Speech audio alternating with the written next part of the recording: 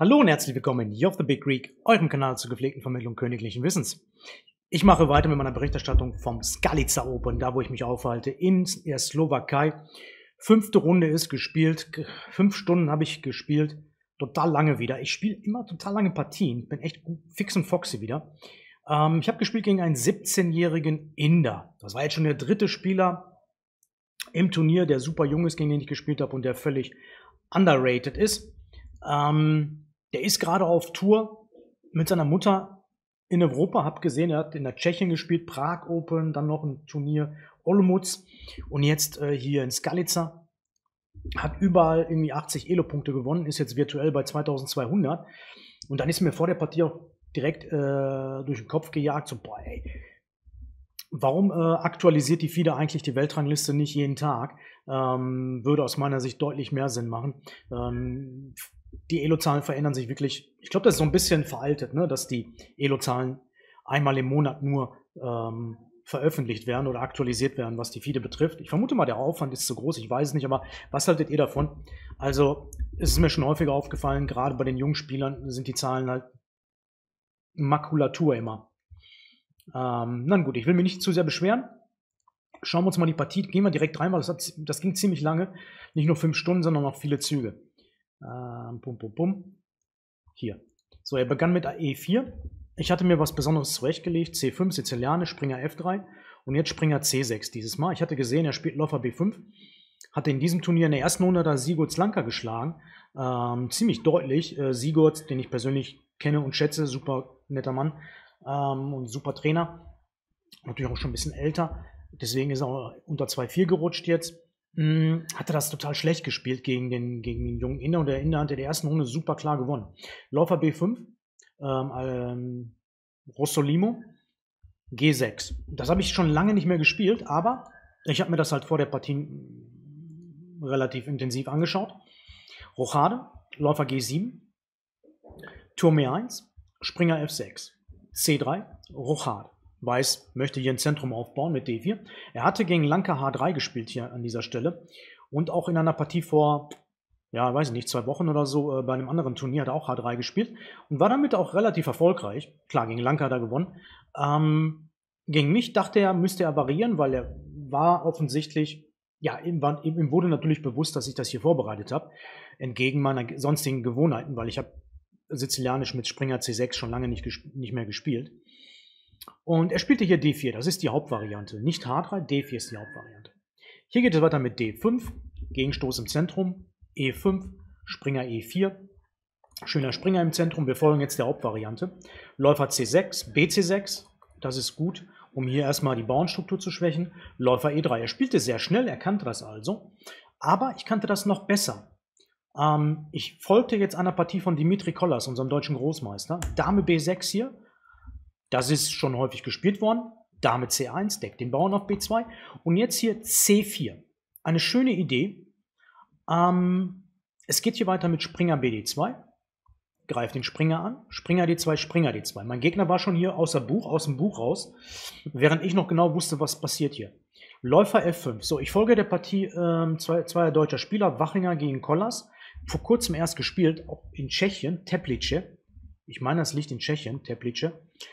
Ähm, schöne Läufer hier, ne? Ich plane den Läufer hier auf D3 rein zu äh, buxieren. Und Weiß muss hier unbedingt mit B3 agieren, um dieses Gerüst hier aufzudröseln. B3. Das hat er auch alles relativ schnell gefunden. Läufer D3. Ich war immer noch in meiner Vorbereitung. Und hier weicht er ab von der Partie. Ähm, Wachinger hat hier Dame A3 gespielt. Es ging weiter mit E6 und hier BC4, DC4, D5. Dame D8 zurück und das funktioniert alles sehr gut für Schwarz. Das ist eine spannende Stellung die ich sehr gut analysiert hatte. Und ähm, ich hätte mich gefreut, wenn er das so gespielt hätte. Er spielte allerdings nicht Dame A3 hier, sondern er nahm sofort auf C4 raus. BC4, DC4, das sieht auch logisch aus. Jetzt könnte er immer noch mit Dame A3 den Bauern E7 attackieren. Hier müsste ich aber nicht E6 spielen. Ich könnte auch sowas wie Dame C7 spielen. Aber vermutlich hätte ich sowieso E6 gespielt in der Hoffnung, dass wir in die Varianten in die Partie Wachinger gegen Kollas reinkommen. Er spielte aber hier, sehr interessanten Zug, F3. Er möchte mit dem Springer nach E4 und dann nach C5. So, da für mich diese Stellung jetzt, diese Stellung war jetzt für mich neu. Und ich empfand das am Brett als sehr kompliziert und dachte jetzt für meine nächsten zwei Züge 40 Minuten nach. Ich spielte Turm FB8, ein sehr logischer Zug, die B-Linie ist offen, ich kontrolliere sie, möchte eventuell mit der Dame nach B2. Er spielt Springer E4 und hier war ich mir absolut nicht sicher, soll ich den Springer nehmen ähm, oder soll ich ja was anderes ziehen, wobei ich mir nicht klar ist, was anderes, was es sein soll, Dame B2 vielleicht. Das Problem ist, man tendiert dazu, diesen Läufer zu behalten, weil er so schön ist auf D3, das, aber ich mache ich mach jetzt eben Quatschzug, H5, das ist Blödsinn. Ähm, es kommt hier Springer C5 halt. Na, H5 ist gar nicht so blöd, weil es G4 verhindert. Springer C5 und dann was mache ich mit dem Läufer? Wenn ich zurückgehe am Ende, dann steht er total schlecht dann irgendwann, ne? Irgendwann wird er mit G4 weiter buxiert und ich muss nach C8 zurück. Das hatte ich schon kommen sehen. Und dementsprechend nahm ich auf E4 raus und das ist richtig. Der Läufer auf D3 ist, sieht halt nur gut aus, wird aber der Springer auf C5 ist noch stärker. Deswegen Läufer schlicht E4. F schlicht E4. Und hier ging ich jetzt rein mit der Dame nach B2. Ich wollte das Endspiel forcieren. Ähm, ich war mir nicht sicher, wie das zu bewerten ist. Ich hatte wirklich Probleme mit, das vernünftig zu bewerten, aber mein Gegner auch. Er dachte jetzt 32 Minuten nach und nahm letztendlich die Dame. Gut, der Damentausch, der kann nicht wirklich verhindert werden. Ich dachte vielleicht Turm F1 hier wäre ein guter Zug. Wobei ich mir nicht sicher bin, was der Turm auf der F-Linie soll. Die Idee ist halt Dame E1. Ich muss wahrscheinlich jetzt die Damen tauschen. Ich hätte die Damen wahrscheinlich getauscht. Es ist kompliziert. Er nahm selbst raus. Dame B2, Turm B2. Jetzt spielt er Läufer C1 zurück, greift meinen Turm an. Und das ist eine ganz schwierige Stellung hier. Ich dachte hier 10 Minuten nach oder so.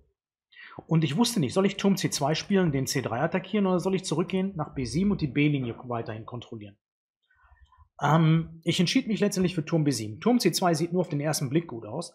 Nach Läufer A3, Turm schlicht C3, Läufer schlicht E7. Bekommen wir beide gefährliche Freibauern. Ich habe hier Läufer H6, das hatte ich auch alles betrachtet. Turm D1, AD1. Und hier war ich mir absolut nicht sicher, wie das zu bewerten ist. Ich habe natürlich einen starken Freibauern, aber er hat auch einen starken Freibauern. Und ich habe schon diesen Bauern hier nach D8 kommen sehen und hatte Angst.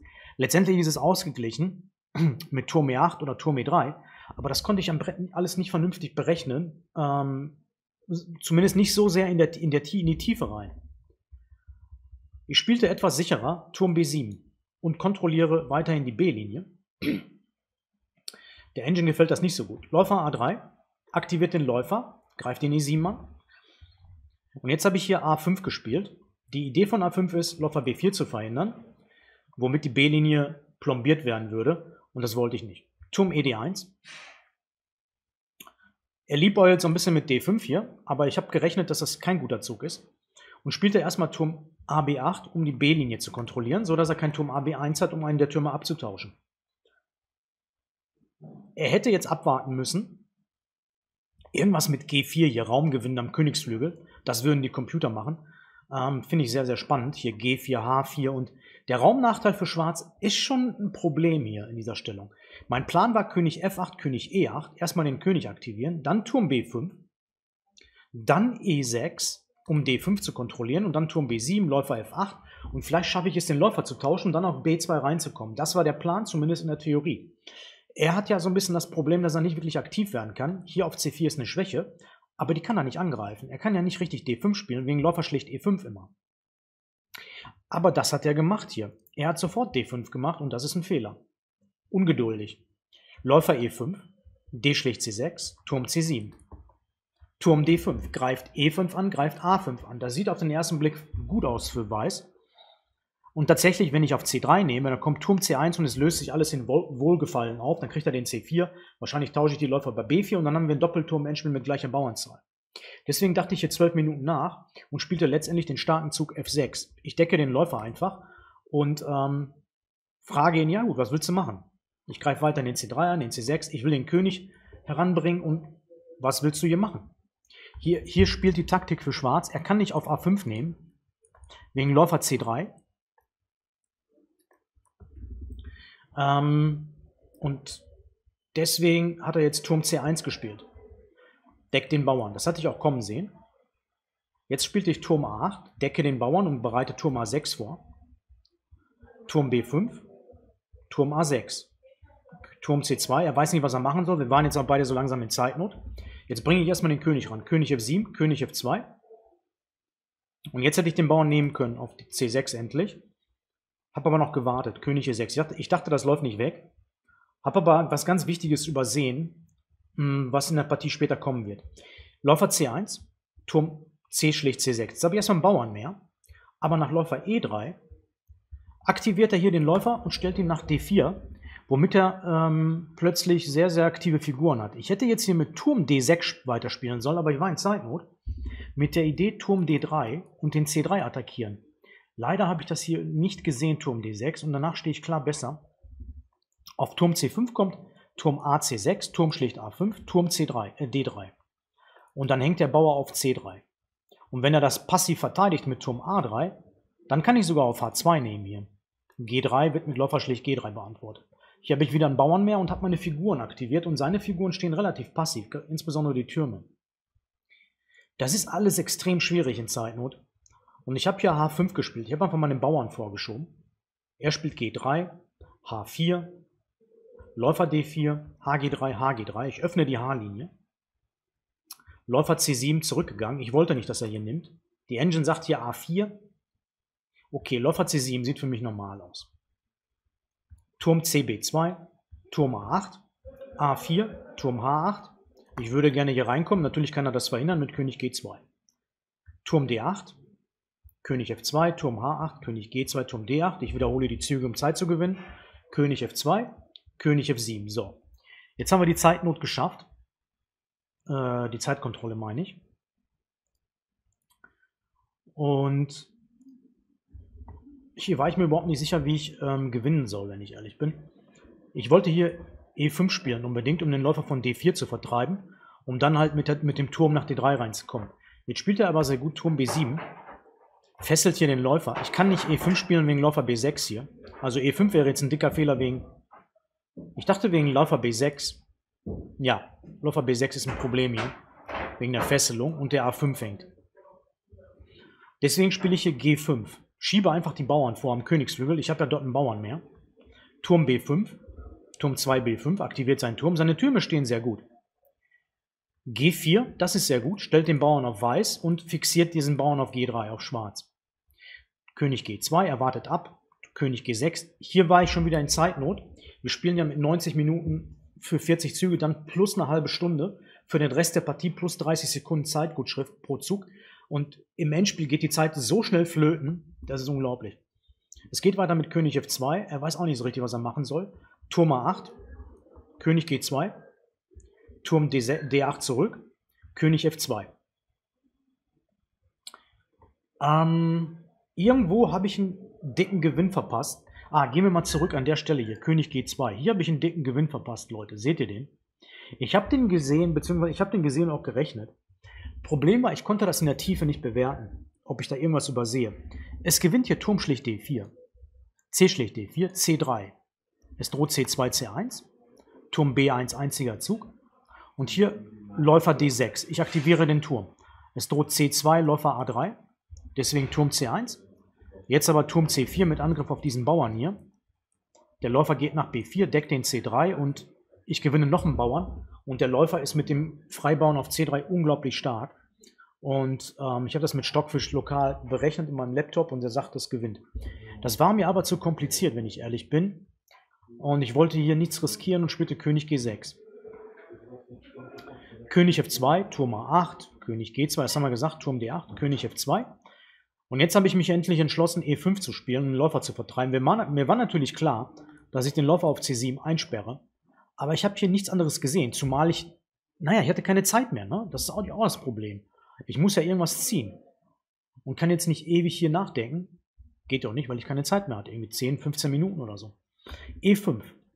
Und jetzt begeht er einen Riesenfehler. A, er spielte hier ein bisschen zu schnell, versuchte auch meine Zeit so ein bisschen zu spielen. Er musste hier unbedingt Turm C5 spielen. Das hatte ich auch gesehen und erwartet. Turm C5 ist sehr stark. Turm C5, Läufer C5, jetzt der Turm, Läufer angegriffen. Hier dachte ich aber, dass ich nach Turm C8 irgendwie, irgendwie rauskommen kann. Meine Idee war, F5 zu spielen im nächsten. EF5, König F5. Aber das ist alles nicht so leicht. Stockfisch findet hier super Verteidigung. Ich weiß nicht, ob er das verteidigt hätte, aber Stockfisch sagt, dass das alles nicht gewonnen ist für Schwarz, weil meine Figuren zu passiv stehen, um es kurz zu fassen. Mein Gegner spielte aber super schnell Läufer E3, was offensichtlich schlecht ist, wegen Turm D3. Jetzt kommt mein Turm hier rein. Er hatte sich verlassen jetzt hier auf Turm A7 mit der Idee Turm B7. Aber das funktioniert taktisch nicht. Ich nehme einfach den Bauern, Turm C3, Turm BB7. Der Läufer hängt. Ich kann den Läufer nicht wegziehen, das wäre matt auf G7. Aber wie gewinnt hier Schwarz? Ziemlich trivial eigentlich, die Kombination.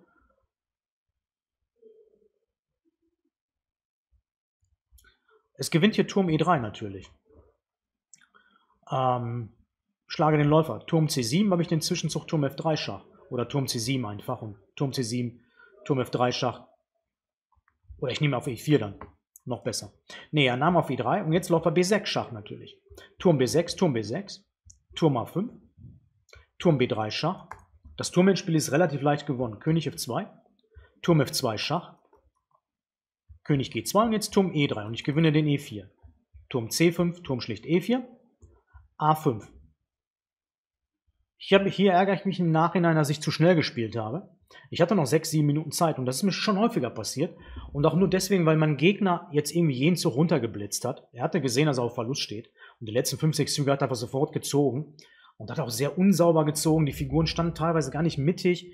Ähm, und hier gewinnt Schwarz mit König F5 am einfachsten. Ähm, A6 und hier Turm E2 Schach, König irgendwo hin und dann Turm A2. Turm C4, Turm A6 und Schwarz hat einfach zwei Bauern mehr und das ist trivial gewonnen. Ähm, auf König F2 kommt, also auf König F2 kommt hier Turm D4 natürlich mit der Idee Turm D2, falls A6 kommt. Und wenn er den macht, König E2 kommt einfach Turm D3. Dann greife ich den, den äh, G3 an. Turm C4, Turm schlichter 3, Turm A4, Turm A3, A6 und hier Turm A8, A7, Turm A8. Das sollte gewinnen. Ich bin mir nicht hundertprozentig sicher, aber die drei Bauern sollten gewinnen. So oder so, König F5 war hier der logische Zug.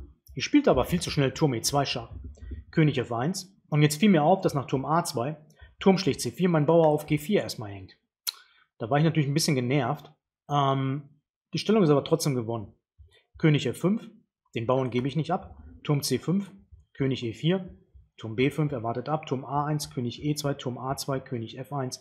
Ich wiederhole die Züge, um Zeit zu gewinnen. F5, Turm B4, König E3, Turm B5, König, Turm A1, König G2, Turm A2, König G1. Ich gewinne wieder Zeit. König E4, Turm B4, König D5, Turm B5 und hier ganz wichtig, König D4. Ich drohe jetzt F4, ne? Und dann zwei Freibauern zu bilden hier, ne? Wenn er schlägt, zwei Freibauern und die gewinnen natürlich. Deswegen Turm B4 Schach, König C5, Turm B8. So, hier. Interessanterweise möchte die Engine, dass ich König D4 wieder spiele, aber ich vermute mal, dann wiederholt sie die Züge und ich soll dann doch wieder zurückgehen.